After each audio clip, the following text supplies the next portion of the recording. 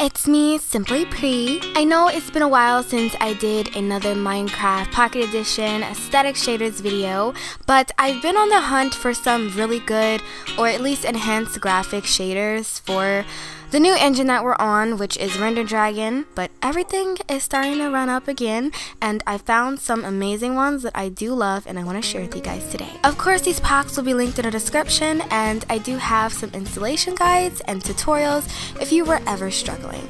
Okay, let's get started. Okay, so the first shader pack I have here is called the HYRD for Render Dragon Enhanced Graphics for Minecraft Bedrock Edition and Pocket Edition. Of course, this pack works on version 1.19 and above, and as you can see, it really does change the graphics. It makes everything a lot brighter, a lot more vibrant, and it also changes the color of the water here. It's a little bit darker, and I don't know if this really shows, but you do have a bit of some water moving there and it actually looks really really good. And honestly with these more toned down shaders I have found a bit more pleasure in like the simple things like the sky which is a feature that I guess I never really taken like appreciation to um, when we did have a lot of the crazier shaders.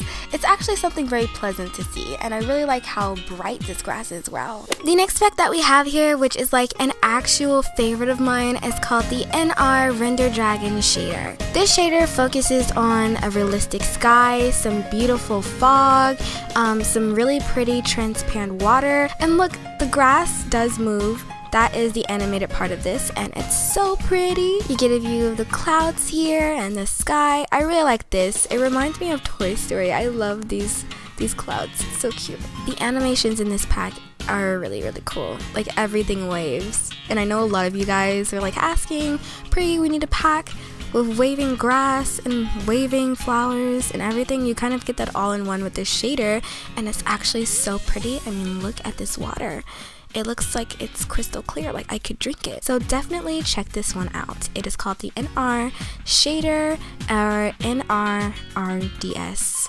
Shader for Minecraft Pocket Edition. The last shader that we have here is definitely one of my favorites ever since Render Dragon came out and that is called the FOG shader. Look at the sky, it literally looks like heaven, like right here, like this specific just view here, heavenly.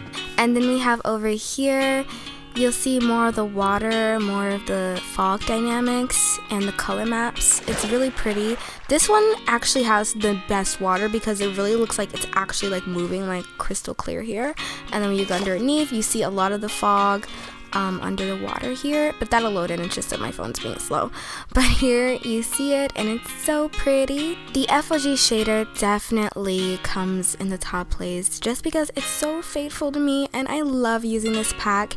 The only trouble I would probably say I have with this is as you can see like the display view is a bit messed up if you're on like a bigger size device um, because another commenter said they had this problem when they were on iPad and I have the iPhone 12 and there is a big like kind of like block here if you see it but it didn't appear on my iPhone 6 so I don't know if that's consistent with every size um, for a device, but just be aware of that if it does come up. And there we have it. These are my favorite aesthetic Minecraft Pocket Edition Render Dragon shaders as of now. Of course, I will be updating this list as more packs get updated and more shaders are released. And yeah, I will see you guys later. Bye!